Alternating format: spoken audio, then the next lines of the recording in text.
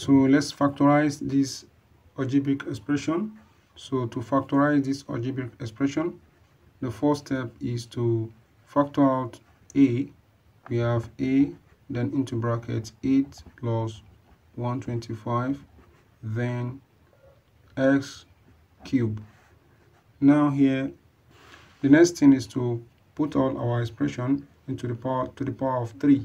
So we have a into bracket 2 to the power of 3 then plus 5 to the power of 3 then x to the power of 3 now we can put this as a into bracket 2 to the power of 3 plus 5x to the power of 3 now this is in the form of sum of 2 cube which implies a cube plus b cube is equal to a plus b into bracket then a to the power of 2 minus ab plus b square.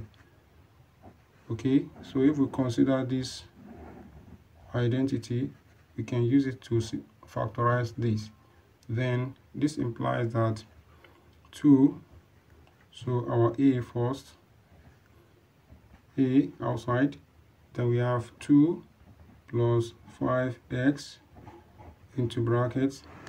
Then 2 to the power of 2 minus 2 multiplied by 5x plus 5x squared. So putting this proper we have 2 plus 5x into bracket then a out.